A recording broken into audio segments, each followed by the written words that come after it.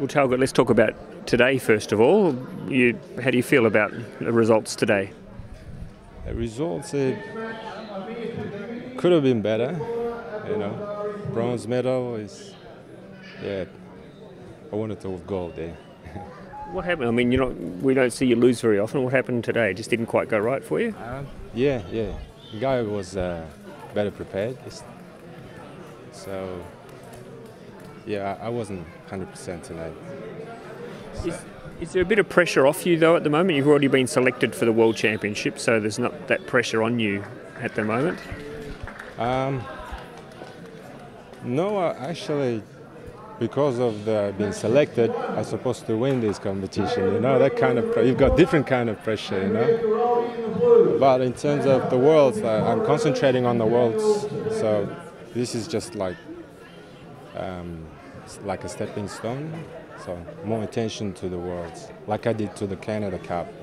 I was preparing for the Canada Cup before really hard, and then after that, took a, a little bit break, and then You must have been pretty happy with the way things went at the Canada Cup. you, Everything went your way, didn't it? yeah, yeah, I had three matches, I won all of them.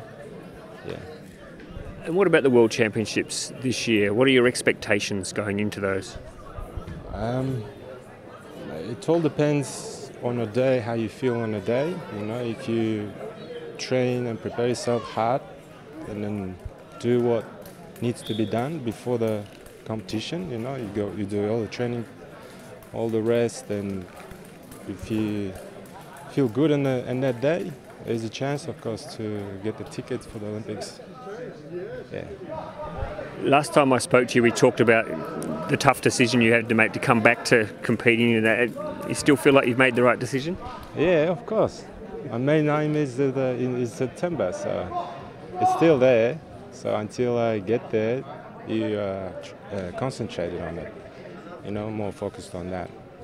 And how's the body and everything holding up? Are you feeling pretty good? Yeah, not always though. You know, takes a little bit longer to recover, but you just um, do the best. You know.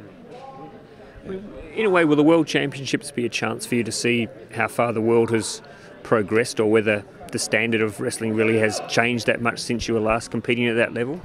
Oh yeah, yeah, yeah. Just take this Canada Cup. You know, it's not a world level competition, but I get I get the feeling what the world will be like. You know, considering the Canada Cup is not that high in the world, and the way I wrestled there, uh, I need a lot of work on myself. Yeah, especially fitness level and uh, yeah, fitness and strength side.